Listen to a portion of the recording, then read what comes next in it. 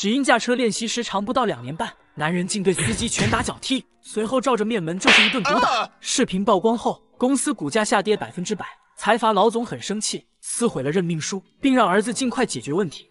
男人跪在门前深深忏悔，不停请求对方原谅，可他的大逼斗已经造成了无法挽回的心理伤害。司机并不想妥协，财阀又是说好话，又是抱大胯，却被一脚踹趴下。其实这正是财阀想要的结果。律师正拿着手机记录一切，只要发到网上，舆论肯定倒向一边。在水军的引导下，网友开始骂起了司机。财阀擦了擦眼药水，满脸都是不屑的表情。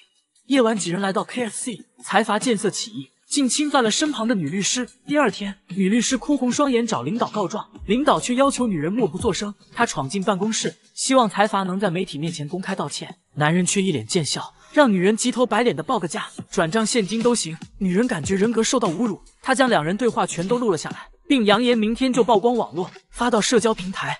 因为家暴怀孕妻子，男人刚从监狱释放，这次他无论如何也要让女人闭嘴。隔天，女人尸体出现在了自己车里，现场没有任何挣扎痕迹。法医对其进行尸检，女人身体没有外伤，只在左臂发现一个水泡，判定为轻微烫伤。除此外，死者身体健康，血液中也没有任何毒素。最终，法医只能给出结论：死因不明。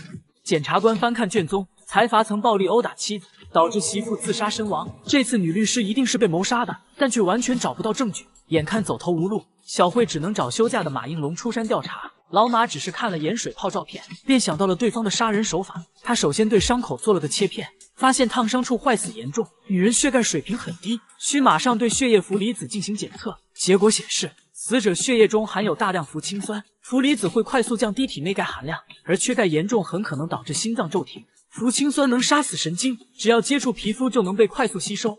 警察调取监控，发现女人在咖啡馆被帽子男故意烫伤，就是这个看似不起眼的举动，导致了女人的最终死亡。